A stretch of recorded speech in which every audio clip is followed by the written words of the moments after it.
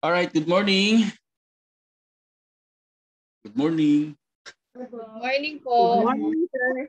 Yeah, welcome to the mandatory eight hours safety seminar for workers. I will be your trainer for today, uh, Efren Tertias, and uh, I'm a certified safety officer too. Okay? So for this session, uh, siguro mga one hour yung seminar natin. Uh, I want to set your expectation na maraming information kayong maririnig today. Okay? Uh, i-discuss naman natin isa-isa. Okay? And bakit tayo na mag-next? Ayan. So ang training house rules, certificates of completion shall be given to participants with complete attendance. For the six modules, total nito is eight hours of online seminar. And ito yung uh, provided by DOLE in pursuant to Section 16B of RA, Republic Act 11058. Yan yung uh, occupational safety and health no, na law. At uh, yung Section 3 ng DO, Department Order 198-18. Yan, didiscuss din natin yan mamaya uh, to provide the mandatory 8-hour safety and health seminar sa lahat ng employees. So module 1 natin, ang objective is the participants will be able to express appreciation on OSH or Occupational Safety and Health and recognize the importance of various data and legislation, mga batas no, na may kinalaman sa OSH. So this will be covered in Module 1 which is the overview of OSH. Yung iba, didiscuss natin every module na lang para hindi tayo tumagal. No? So up to module 6 yan and that it should be conducted by SO or safety officer which is uh, in our case, I will be your safety officer. So introduction to occupational safety and health. At the end of this session, ang kayo po ng mga participants should be able to explain the importance, gaano ba kahalaga itong OSH at magkaroon kayo ng idea doon sa national OSH data. So when we say OSH, occupational safety and health. At bakit kailangan ba itong uh, occupational safety and health?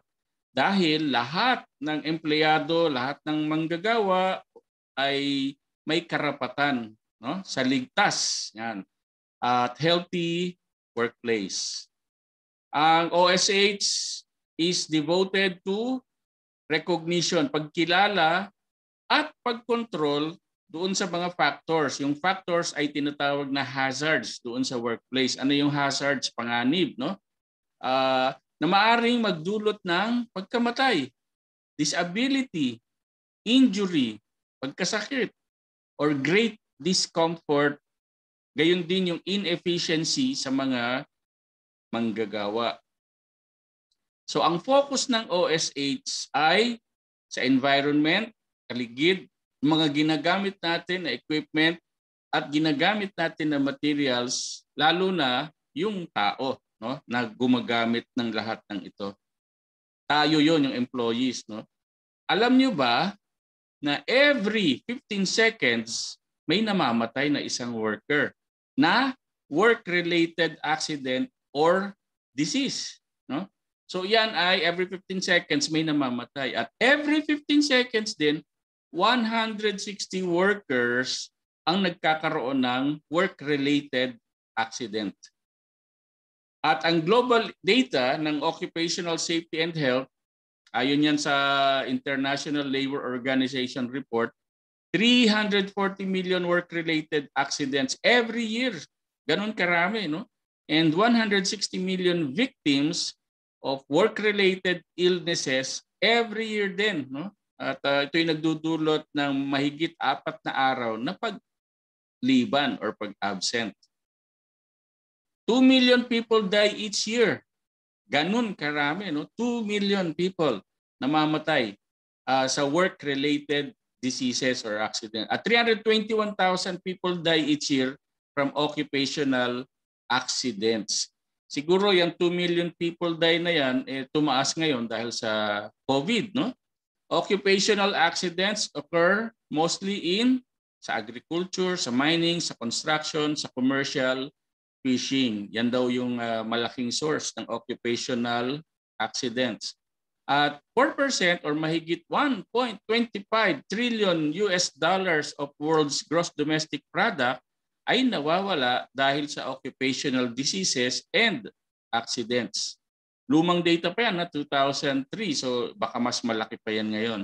And in 2017 to 2018, sa isinagawang integrated survey on labor and employment, yan, Uh, if you compare total establishments from 2015 to 2017 tumaas, ang total cases from 50,000 naging 46,000. Medyo bumaba naman. No? And uh, cases ng uh, without work delays or work days lost, 33,000, tapos bumaba ng 25,000. Ang pinapakita lang dyan, uh, posibleng bumaba dahil sa pagiging aware na sa occupational safety and health. Pero meron ding incidents na tumaas, no? like cases with work days lost, tumaas yan. And etc. Okay? Dito naman, uh, local scenario sa atin, top 3 industries na may cases of occupational industries. Kasi sa atin sa Pilipinas, marami tayong manufacturing, uh, meron tayong mga tinatawag na export processing zone area, di ba? Uh, 49.7 ng uh, mga kaso ng occupational injuries ay nagaganap nangyayari sa manufacturing industry. Sa atin, wholesale retail trade no ay uh, 11.4% pero mostly yan sa repair ng motor vehicles and motorcycles. Malinaw pa ba ako?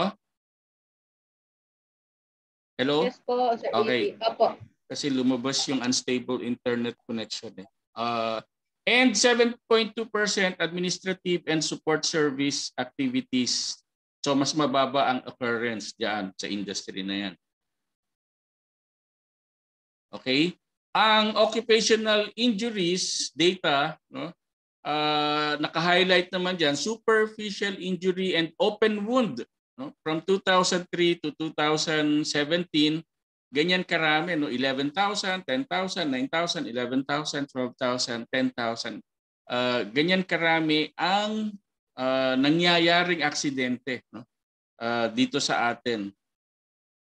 Work-related musculo musculoskeletal disorder, ano yan? May kinalaman yan sa mga pagbubuhat-buhat. No?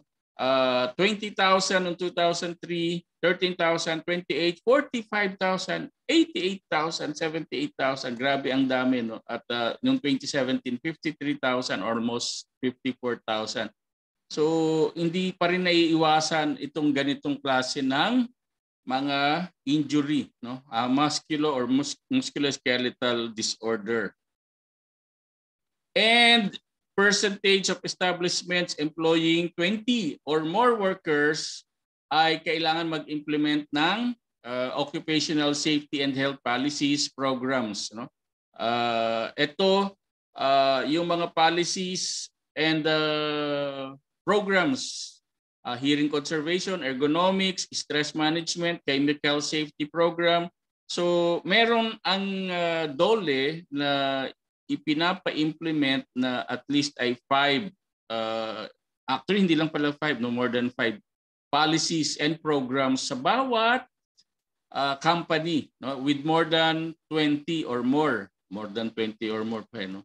Uh, with 20 or more employees. So pasok tayo diyan no so may indoor air quality program employee assistance related to substance abuse substance abuse may kinalaman yan sa drugs no uh, tuberculosis HIV and AIDS anti-sexual harassment so sexual harassment uh, accident prevention program, etc. Right? So magkakaroon tayo lahat niyan ng mga policies and uh, programs na implement din natin dito sa atin, sa ating opisina.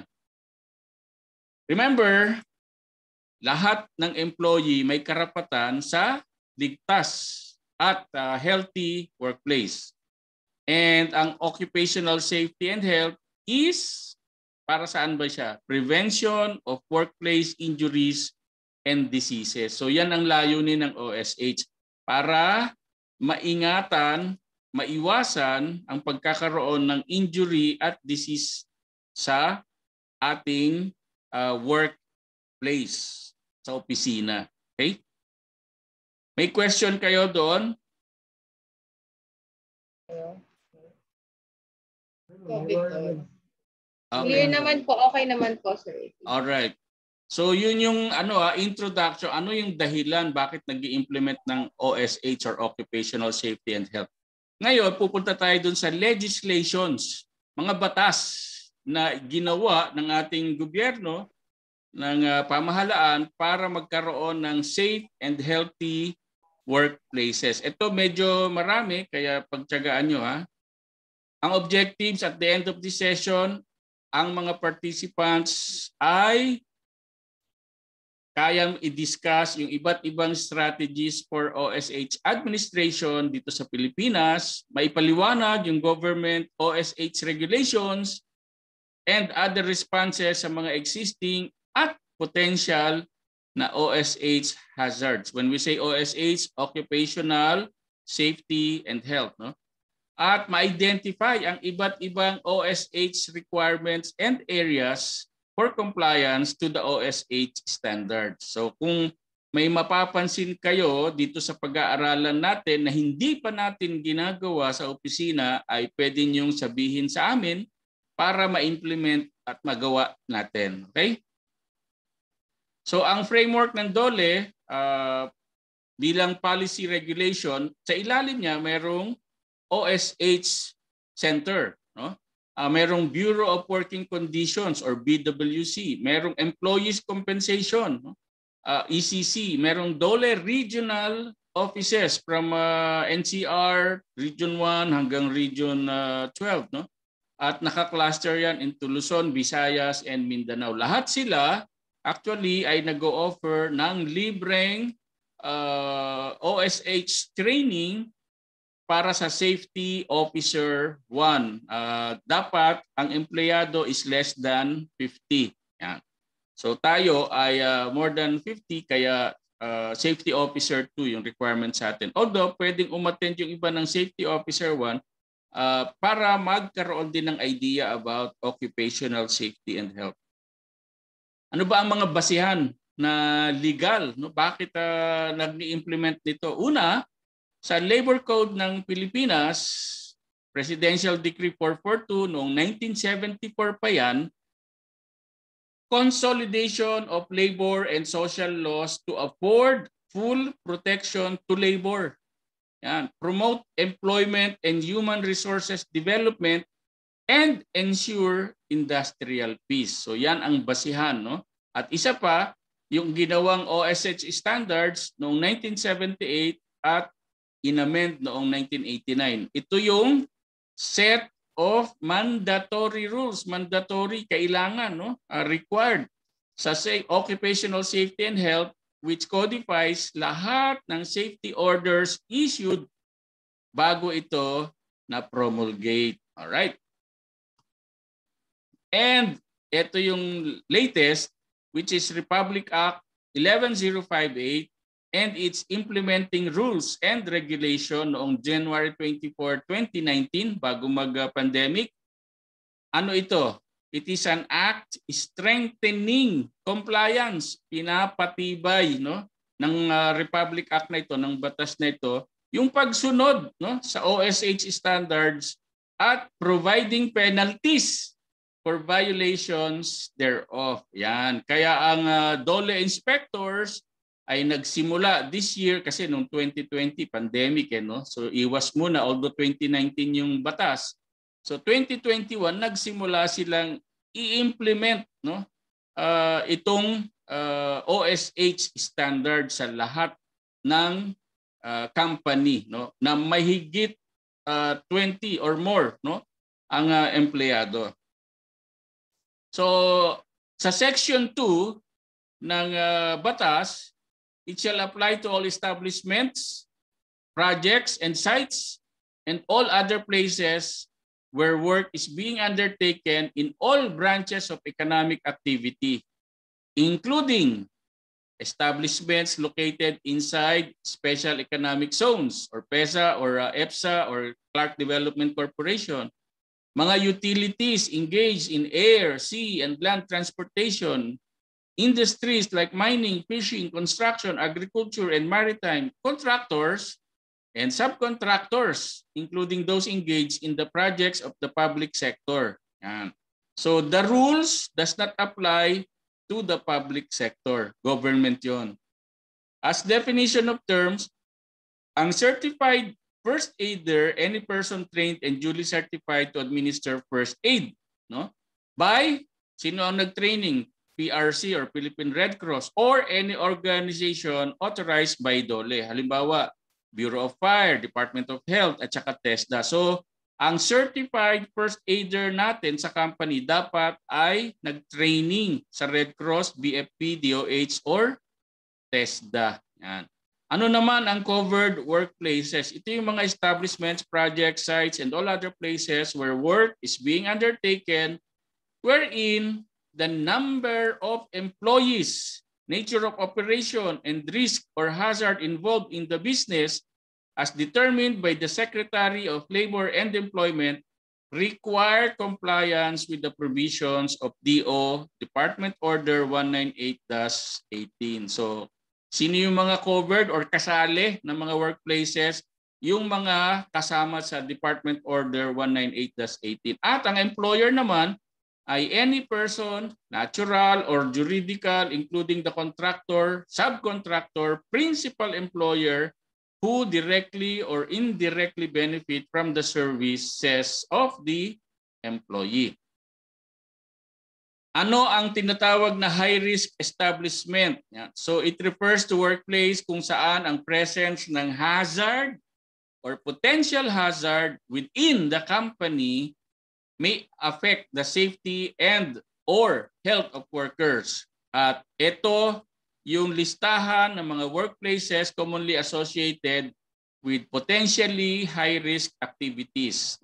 So chemical works or chemical production, construction, deep sea fishing, explosives and pyrotechnics, firefighting, healthcare facilities, installation of communication accessories, LPG filling, mining, petrochemical works, power generation, transmission, distribution, storage, and distribution center for toxic or hazardous chemicals, storage of fertilizers in high volume, alam niyo yung nangyari doon sa Brazil, yung sumabog, no? Uh, Brazil ba 'yon or uh, uh, Lebanon pala, no? Yung sumabog doon sa Maypier. Akala nila terrorist attack. Yung pala ay dahil sa napakatagal ng fertilizers na nakaimbak doon, sako-sakong fertilizers. Bakit? Nag-i-emit kasi siya ng ammonia. And nung nag-ignite, ayun, boom, sabog, no? uh, transportation establishments, water supply, sewerage works in which chlorine is used in bulk. So yung mga naglilinis ng uh, uh, swimming pools kasali dyan. Or siyempre sa waterworks system natin. Activities closely similar to those enumerated above and other activities as determined by DOLE. So ano pa ang ating mga definition of terms? Pag sinabing medium risk establishment naman, this is a workplace where there is moderate exposure. Moderate lang ang exposure to safety and health hazards and with probability of an accident, injury, or illness. Low risk establishment, dito tayo kasali. A workplace where there is low level of danger or exposure to safety and health hazards and not likely or with low probability to result in accident, harm, or illness. Pero kahit low risk establishment tayo, kailangan pa rin nating mag-implement ng occupational safety and health programs and procedures. Yan. Pag sinabing imminent danger, ito yung situation caused by a condition or practice in any place of employment that could reasonably be expected to lead to death or serious physical harm. So, uh, yeah, imminent danger yan, no? That could uh, reasonably be expected to lead to death. Pwedeng mamatay o kaya ay serious ang physical harm. Ang tinatawag naman na MSM, MSE, Micro and Small Enterprises, iba MSME, no? Micro, Small, Medium Enterprises, ito yung establishments employing less than 10 employees and the establishments employing less than 100 employees respectively regardless of capitalization. Na. Ang safety officer 1, ito yung employee na nakakomplete ng mandatory 8-hour OSH orientation course as prescribed in the OSH standards which is ito yung uh, seminar natin ngayon ha? Plus 2 hours of trainers training. Yan yung safety officer 1 ang safety officer 2 naman an employee has completed the mandatory 48 or 40 hour OSH training course applicable to the industry as prescribed in the OSH standards ito ako no uh, basic. Merong isa is construction, occupational safety and health. Ibang seminar pa rin yun. Safety Officer 3, meron ng 40-hour OSH training. Meron pang additional 48 hours ulit no, of advanced specialized OSH training and at least 2 years experience sa OSH. Yan.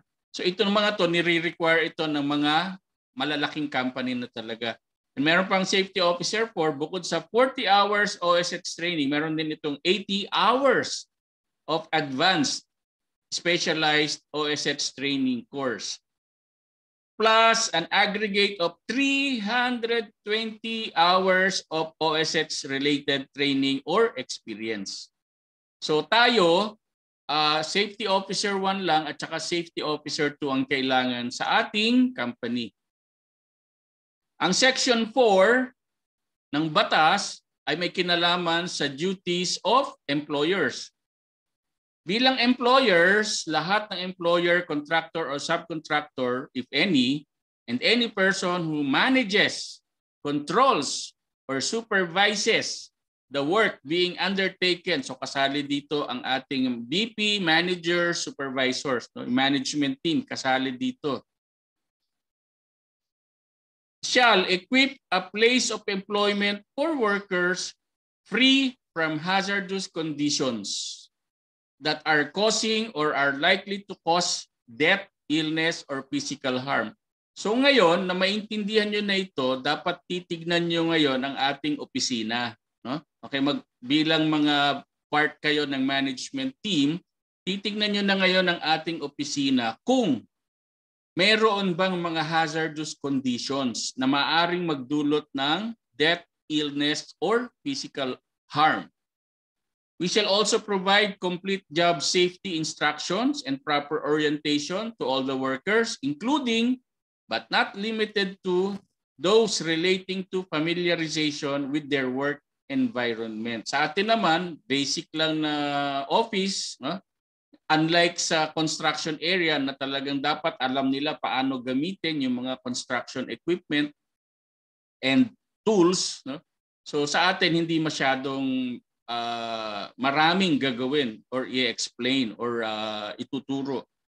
And as employers, to ensure that so far as it is reasonably practicable, the chemical, physical, and biological substances and agents and ergonomic and psychosocial stresses under their control are without risk to health. So dapat ang mga ginagamit nating mga chemical sa panlinis, mga physical and biological substance and agents, no?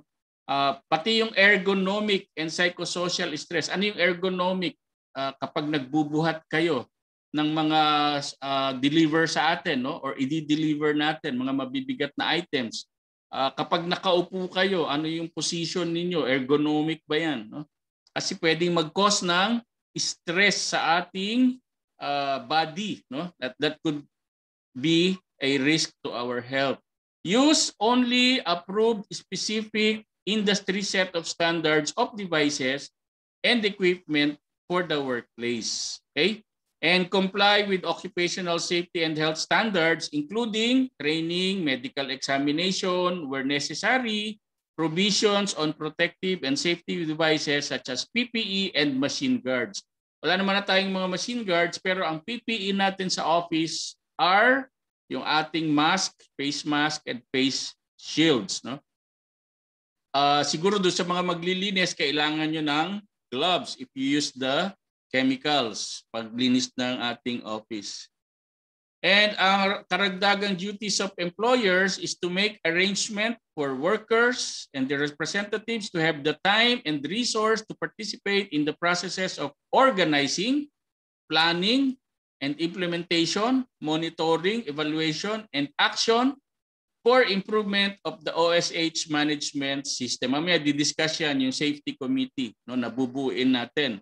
Uh, provide where necessary for measures identifying trainings and drills, evacuation plans, etc. to deal with emergencies, fires, and accidents, including first aid arrangements. Kaya kailangan natin ng first aider And uh, with regards to fires and other emergencies, uh, nagko-coordinate tayo sa building administration para sa mga trainings and drills, no? pati evacuation plans. Makikita nyo naman yan doon sa may elevator area, sa ating emergency exit. Okay? And also to comply with all reportorial requirements of the OSH standard. So ito regularly, may monthly report tayong sinasubmit at meron din tayong annual report na isasubmit with regards to uh, accidents no and risks na nangyari sa loob ng office. And also to register establishment to DOLE as provided under the OSH standards which we have already done. No? Naka-register na tayo. We only do it once naman. And uh, duties naman ng workers. duties of workers or employees. Every worker, in order to ensure compliance with the OSH standards, shall Una, participate kayo dapat sa capacity building activities on safety and health and other OSH-related topics and programs.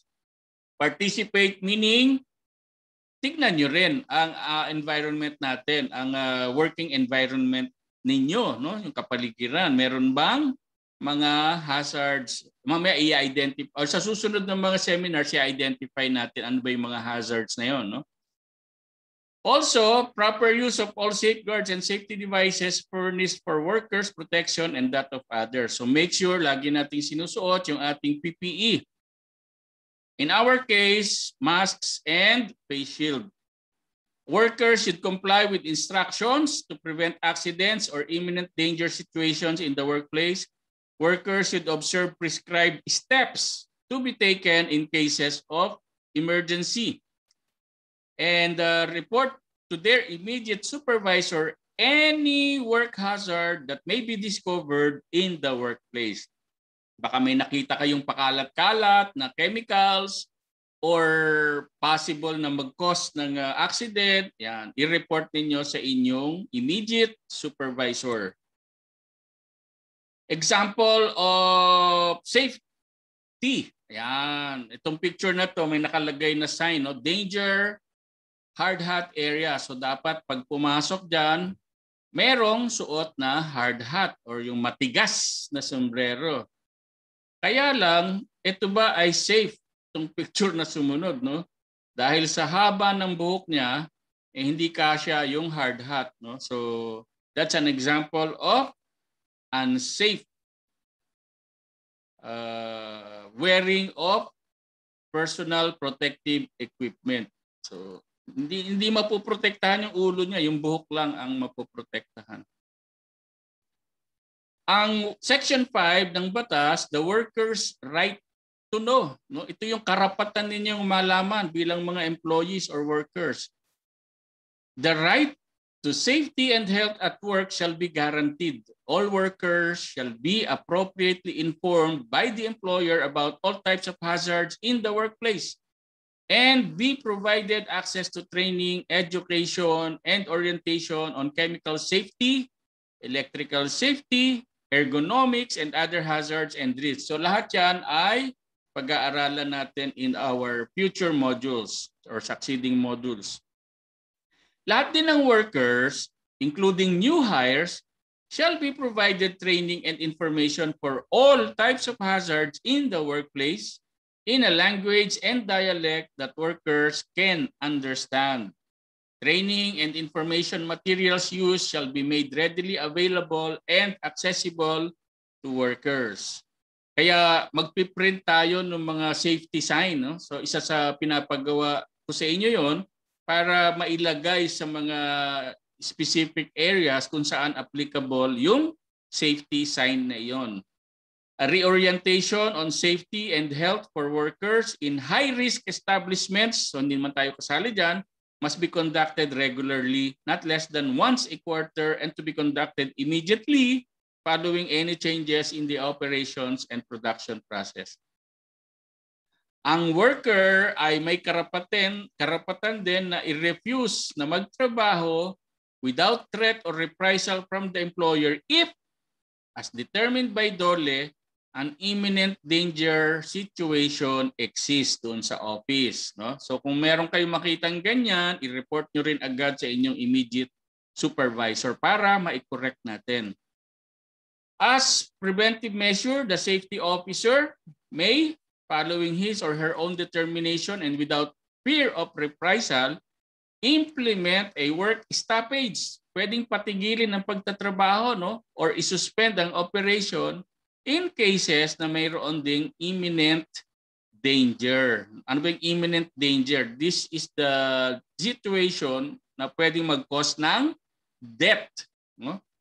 or uh, serious injury.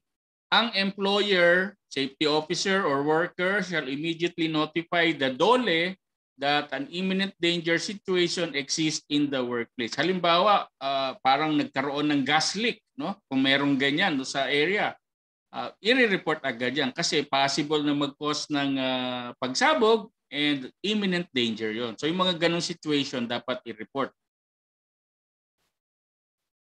The employer or safety officer cannot require the workers to return to work where there is a continuing imminent danger. A worker may also refuse to work until the lifting of the WSO after implementing the appropriate control measure. So, tandaan niyo ha, yung pwede niyo lang i-refuse, no, tanggihan uh, is because mayroong imminent danger. Workers affected by the existence of an imminent danger situation may be temporarily assigned to other areas within the workplace, provided there is no impending issue with safety and health. Yan. So kung doon man sa lugar eh, may imminent danger, pwede kayong temporarily ilipat ng ibang workplace. Workers and their representatives shall have the right to report accidents, dangerous occurrences, and hazards to the employer, to DOLE, and to other concerned competent government agencies. They shall be free from any form of retaliation for reporting of any incident. So pwede niyong i-report kung sakaling may nakikita kayo na accidents, dangerous occurrences, at saka hazards. Reporting of accidents to DOLE may be made through any means of communication, including DOLE hotline, whichever is most convenient to the worker. Meron din silang Facebook ano page. The work uh, the same may be reported to the nearest DOLE regional, field, provincial or satellite office having jurisdiction over the place of the incident. Pwede nyo naman itong i-search lang no, yung DOLE sa Google to find the uh, nearest regional, field, provincial or satellite office dito sa atin sa Makati. Section 8 is the worker's right to PPE or personal protective equipment. Lahat ng employer, contractor, or sub subcontractor, if any, shall provide his or her workers free of charge. Walang bayad. Ha? Hindi kayo dapat ma nasingilin diyan sa inyong mga gagamitin na PPE for any part of the body that may be exposed to hazards and lifeline, safety belts or harness, gas or dust respirators or masks, and protective shields whenever necessary. Ang uh, cost of PPE shall be part of the OSH program which is a separate pay item pursuant to Section 21 of this rule. So may nire-report naman kaming ganyan sa DOLE. All personal protective equipment shall be the appropriate type as tested and approved by the DOLE based on its standards and or other means of verification. The usage of PPE in all establishments, projects, sites, and all other places where work is being undertaken shall be based on the evaluation and recommendation of the safety officer. All PPE must be of appropriate size, weight, and type to specific workers exposed to hazards from which PPE are meant to ensure protect, uh, effective protection. No? So normally yan naman details na yan sa mga construction sites. And failure to provide appropriate PPE in high-risk activities shall give rise to the right of the worker to refuse unsafe work. So again sa atin ay basically uh, ang ating PPE, face mask and face shield. Hindi naman natin kailangan ng hard hat, hindi naman natin kailangan ng safety uh, safety shoes, no? Hindi naman natin kailangan ng gloves. Yan para sa ating environment.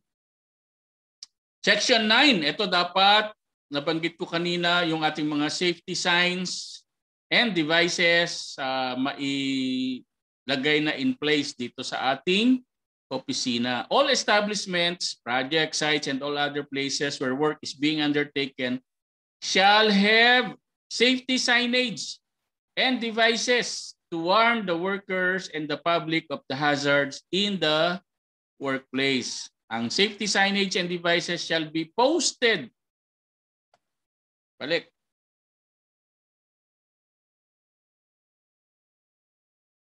Ayaw nang bumalik. Uh,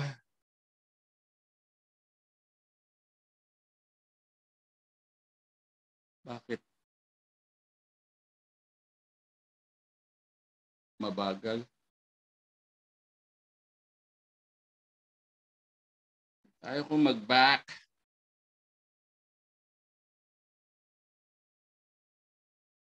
Puro go. Ayan na, naubos na. Teka lang ha.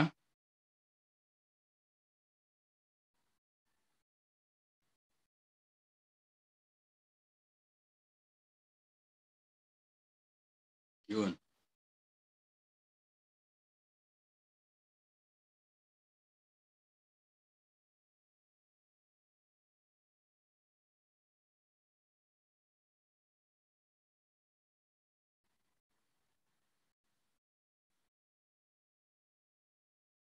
Okay, section 10. Tama? Safety in the use of equipment. In relation, andyan pa ba kayo?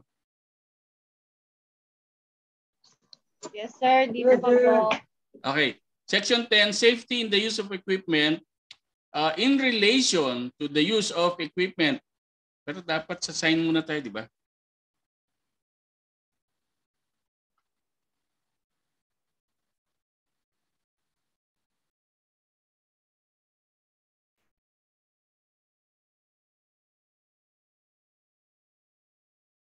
Right to PPE. Yan.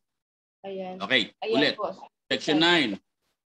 Uh, edit ko na lang yung video. Uh, all right. Section 9, safety signage and devices. All establishments, projects, uh, sites, and all other places where work is being undertaken shall have safety signage and devices to warn the workers and the public of the hazards in the workplace. So sa ating mga safety officers dyan, yung ating signs, kailangan mailagay nyo na doon sa main entrance and doon sa rooms ng ibang involved. No?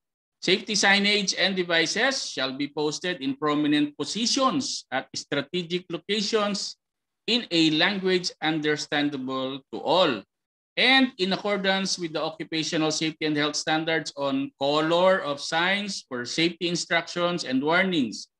Globally Harmonized System or GHS pictograms gaya ng nakikita nyo dyan sa kanan. No? Construction safety, classification, and labeling of chemicals, radiation, safety instructions, and warning signs set by DOLE. All signage shall be of appropriate quality to ensure their legibility. So yung mga safety signs naman na ginag- nagagamitin natin ay lahat ng galing yan sa DOLE. So section 10, safety in the use of equipment in relation to the use of equipment such as but not limited to earth moving, wala naman tayo niya, heavy duty, materials handling equipment, construction equipment. The employer, contractor, or subcontractor, if any, must comply with the OSH standard set by DOLE on safety and use of such equipment in the different phases of the company or project operation, including the transport to and from the establishment, project site, or place where work is being undertaken. So appropriate training and certifi uh, certification by the Technical Education Skills and Development Authority or TESDA, PRC, or other concerned government agency shall be a requirement for operators before use of equipment if applicable. So hindi naman to masyadong applicable sa atin. No? Section 12 OSH program covered workplaces shall develop and implement a suitable OSH program in a format prescribed by DOLE which shall be posted in prominent places. So yung mga OSH program na yan ay uh, ipiprint din namin and ipopost yan sa ating bulletin board.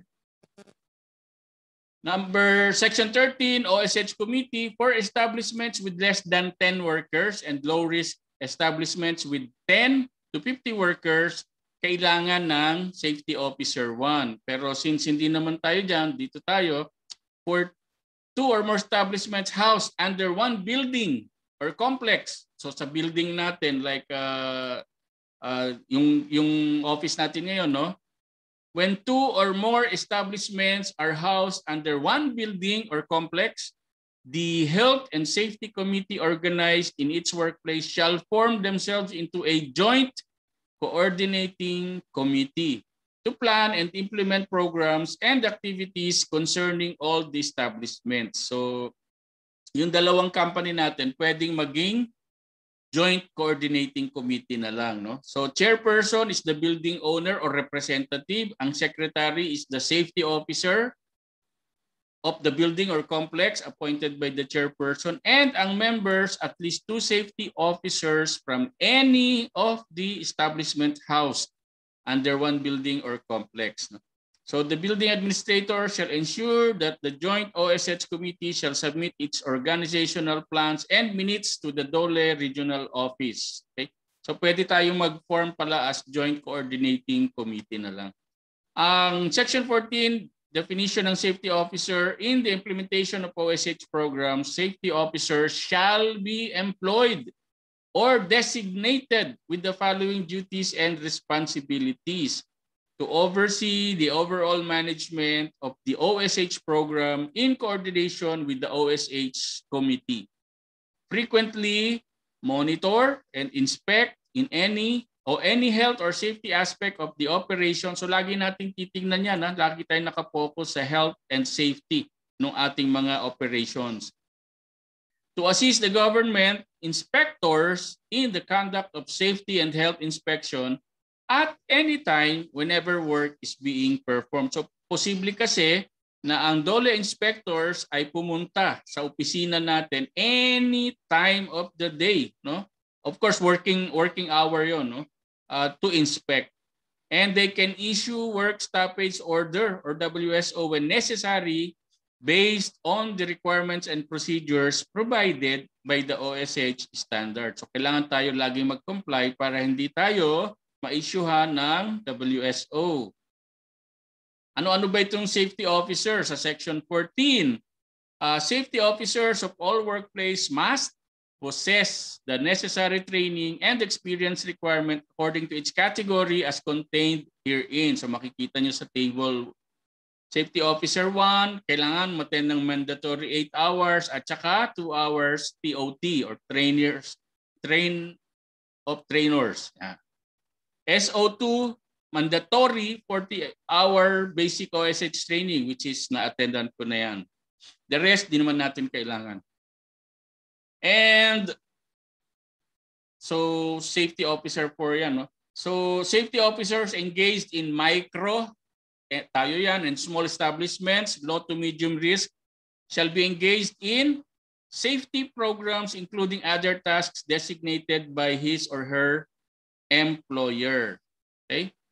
Uh, this table shows ano ang kailangan no? based on the number of workers. So 51 to 99, kailangan natin ng isang SO2.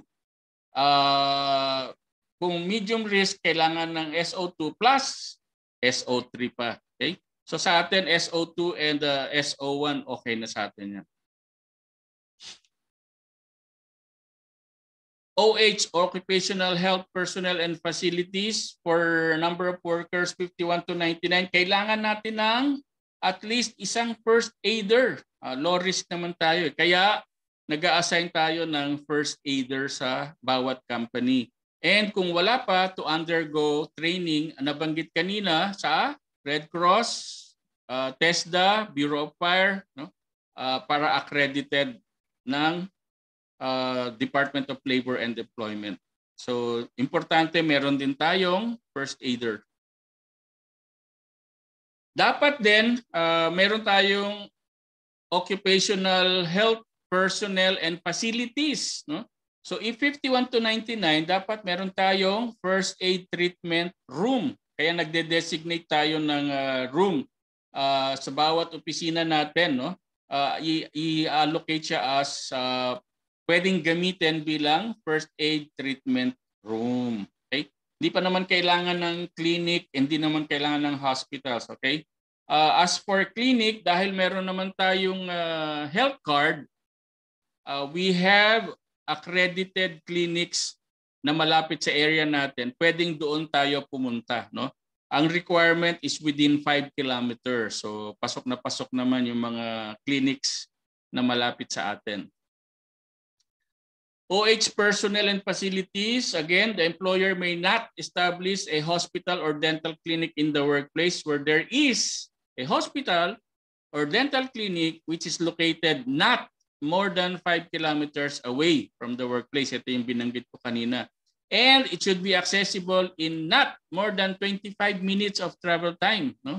And the employer has facilities readily available for transporting workers to the hospital or dental clinic in cases of emergency. So meron naman tayong mga uh, delivery vans na pwede nating tawagan in case of emergency. For this purpose, the employer shall enter into a written contract with the hospital for the use of such hospital for the treatment of workers in cases of emergency. So uh, magre-request lang tayo ng memorandum of agreement no, with these uh, clinics or hospitals na malapit sa atin.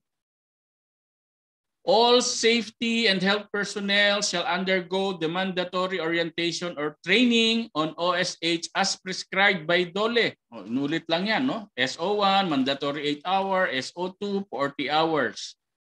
And safety and health train all workers shall undergo the mandatory workers OSH seminar as prescribed by DOLE which shall be jointly participated by workers and employers. Kaya ginagawa natin ngayon itong uh, mandatory uh, 8-hour safety seminar. So dahil required ito ng DOLE under section 16, the safety and health training. And OSH seminar may be conducted by the safety officer of the establishment or any certified OSH practitioner or consultant. Okay? All personnel engaged in the operation, erection, dismantling of equipment, scaffolds, uh, stretcher, etc. Uh, such training shall include among others topics on safety, specialized PPE requirements. Ayan, so hindi naman applicable na sa atin yan. Section 17 is about reports. So ito yung trabaho ng safety officers. Uh, all employers, contractors, or subcontractors, if any, shall submit to DOLE all safety and health reports and notifications such as but not limited to annual medical report. So annual, yearly, no? Uh, OSH committee report kapag ka nagkaroon ng uh, meeting. So yung minutes isasubmit. Employers work accident injury report. Ito yung tinatawag na WAIR. Monthly nire-report yan. And annual work accident injury exposure data report or AEDR with or without uh, illness or accident. No? So ang WAIR is kailan isasubmit? 20th day of the following month. So sa July 20, ire-report natin ay yung nangyari noong June. Okay? Annual Work Accident Injury Exposure Data or AEDR is to be submitted until January 30 of the following year. Okay? Uh, report of safety organization is annually, minutes is quarterly. So yung ating uh, committee meeting uh, dapat meron tayong quarterly report. And annual medical report is to be submitted March 30 of the following year. Paki-take note nyo lang mga safety officers. Section 19, workers, welfare, facilities, uh, all establishments, project sites, and all other places where work is being undertaken shall have the following free welfare facilities in order to ensure humane working conditions. Adequate supply of safe drinking water, meron tayong water dispensers, adequate sanitary and washing facilities, we have pantry, suitable living accommodation for workers, hindi naman tayo, wala namang uh, natutulog no? in-house, separate sanitary washing and sleeping facilities for, for all genders, so wala rin tayo niyan uh, kasi wala namang uh, nag-sleep over. Lactation station except those establishments as provided for under DOLE department order. So yung first aid uh, room natin will also be allocated as our lactation station doon sa mga working mothers na kailangan magpa-breastfeed or mag-pump uh, ng kanilang uh, breast milk. Ramps, railings, and the like. So wala naman tayong ganito. Uh, yung yung ramp is for yung mga heavy loads, no? Other workers welfare facilities as may be prescribed by the OSH standard. So kung ano man yung kailangan, we will provide no as uh, needed. Section 20 is all other OSH standards. All employers, contractors, or subcontractors, if any, shall comply with other occupational safety and health standards as provided for in the 1978 DOLE Occupational Safety and Health Standards as amended. Okay? Rule 1070. Ito, yung OSH Standards Amendments. No? Occupational Health and Environment Control The employer shall exert efforts to maintain and control the working environment in comfortable and healthy conditions for the purpose of promoting and maintaining the health of his workers. The employer shall carry out yung tinatawag na WEM or Work Environment Measure kung saan dito ay kung yung area where hazardous work is performed shall keep a record of such measurement. Susukatin, ano ang susukatin diyan? Uh, temperature, humidity, pressure, illumination, ventilation, concentration of substances, and noise, no? And it shall be made available to the enforcing authority. The WEM shall be performed periodically as may be necessary but no longer than annually. At least once a year ay sinusukat ang temperature ng environment, humidity, pressure, illumination, ventilation, concentration of substances, and noise. Tayo naman, meron tayong ginagamit ng mga air filter ngayon no, sa mga rooms natin. And merong indicator doon kung ano yung concentration ng mga uh, substances in uh, our uh, air inside the room. No? Temperature, uh, nasa-set naman yan sa ating uh, air condition, centralized air condition. Uh, humidity, kasama yan. Pressure. Illumination is uh, madilim ba or maliwanag ba doon sa ating work area and ventilation. No? Uh, so meron tayong centralized air conditioning. And every morning before we start our work, pinapabuksan natin yung lahat ng windows para pumasok ang fresh air, no? mag-replenish ng fresh air sa loob ng ating office. So we are complying with this.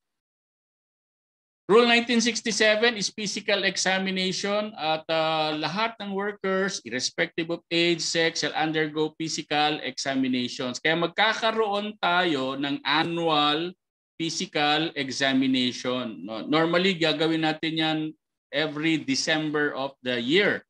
So before entering employment for the first time, dapat may APE rin. Periodically, or at such intervals as may be necessary on account of the conditions or risks involved in the work when transferred or separated from employment and when injured or ill. All examinations shall be complete and thorough, be rendered free of charge to the workers. So wala kayong babayaran as employees or workers. No?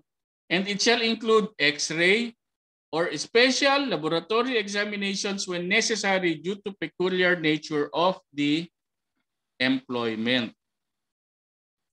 Section 23, malapit na tayo matapos, visitorial powers of the Secretary of Labor and Employment. The conduct of annual spot audit must be attended by a safety officer and representative of the management and workers of the establishment.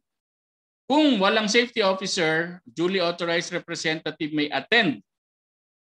Secretary of Labor and Employment or his duly authorized representatives can enter workplaces at any time. Yun. Uh, no person or entity shall obstruct, impede, delay, or otherwise render ineffective the orders of the Secretary of Labor and Employment or the Secretary's duly authorized representatives issued pursuant to the authority granted under Article 128 of the Labor Code of the Philippines. Ito naman, i-require lang natin doon sa uh, authorized representative ng DOLE ay yung kanyang identification, no? ID at saka yung kanyang uh, memo, no? Or uh, yung authority to inspect. Yan. So hahanapin niyo yun kapag ka mayroong uh, pupunta sa ating office to inspect our facility. So ang ECC or Employees Compensation Claim, dito, a worker may file claims for compensation benefit arising out of work-related disability or death. Such claims shall be processed independently of the finding of fault, gross negligence, or bad faith of the employer in a proceeding instituted for the purpose. The employer shall provide the necessary assistance to employees applying for claims. So dito sa ECC, ang employee ang magpa-file ng claim. No? Ang office dito sa atin sa Makati ay diyan sa Buendia. No? So kung meron kayong sakaling nagkaroon kayo ng uh, work-related disability or debt, no? Pwede kayong mag-file ng compensation. Hindi kayo babayaran dahil kayo ay yung bills ninyo sa ospital or uh, bills ninyo sa pagpapalibing, no? Ang babayaran dito, compensation, parang uh, allowance, no? Dahil hindi kayo nakapagtrabaho. So, uh, that's very minimal. Depende sa number of days na hindi kayo nakapagtrabaho. And uh, kinonsider na ng DOLE ang uh, COVID as a form of compensable claim. So kung kayo ay nagka-COVID, ilang araw kayong hindi nakapag-work, submit nyo lang yung mga requirements na result ng COVID. Yan. Uh, ilang days kayo hindi nag-work from uh, your employer para makakuha kayo, makapag-claim kayo ng employees compensation.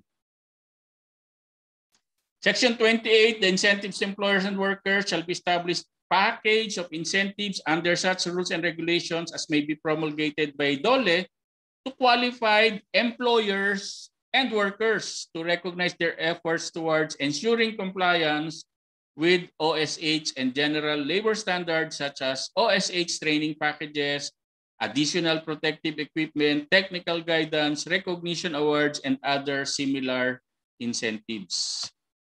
Alright, tapos na tayo.